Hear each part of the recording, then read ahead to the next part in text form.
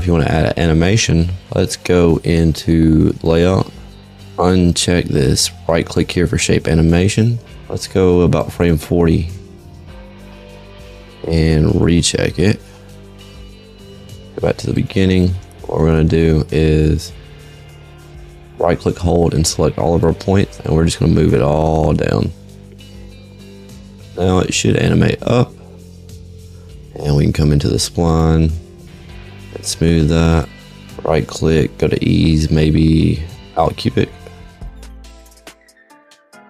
Your animation is a little bit too slow, so we can click off and select just this end key point. Click, hold alt, and just drag it closer. Maybe frame 30. Let's see how that looks. It's a bit better. We could probably make it faster by just playing with these curves.